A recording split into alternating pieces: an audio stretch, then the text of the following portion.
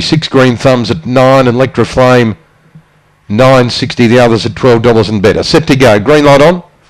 Ready to go. Set for the fifth. Ready at Ballarat. Racing.